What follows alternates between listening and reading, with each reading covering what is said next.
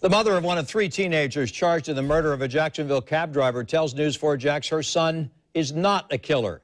15-year-olds Tyon Williams and 17-year-old Tavion Williams, who are not related, were arrested along with 18-year-old Deron Brown. They're charged with armed robbery and murder in the shooting death of this man, 62-year-old Melvin Wright, January 30th. Brown's mother talked with Channel 4 Scott Johnson, who's joining us now live from the courthouse. Scott?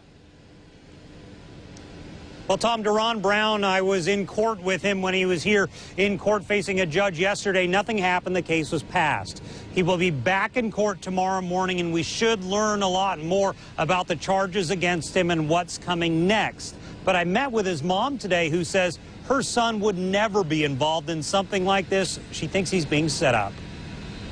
Sherelle Walker says she was at work when detectives showed up at her home to arrest her teenage son, Deron Brown Jr., on murder charges. How did you find out about it? Um, the detectives came, kicked in my door while I was at work one night, and um, my um, son said they had a search warrant, came looking for my son, and I was like, what in the world for? And they and they said for a murder charge. Deron Brown Jr. is one of three teens accused of murdering yellow cab driver Melvin Wright in what was described as an armed robbery plot.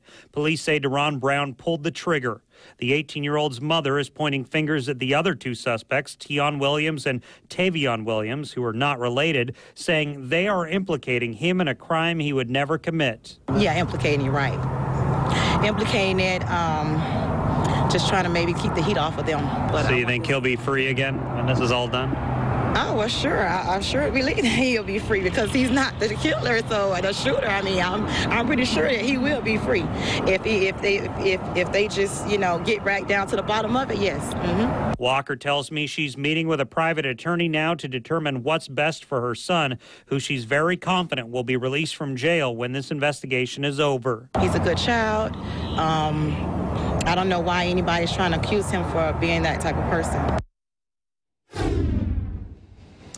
And the judge at yesterday's hearing was concerned about the fact that they hadn't really set up an attorney, be it a public defender or a private attorney, for Brown at the time he was in court. The judge is urging the public defender's office to make sure he has representation going into court tomorrow morning. Now, we also spoke with the Wright's family. He's the victim in this case after the arrests were named they did sympathize with these families, saying these they were concerned about these arrests for three teenagers so young. Can't imagine what these families are going through. We're live downtown at the courthouse. Scott Johnson, Channel 4, the local station.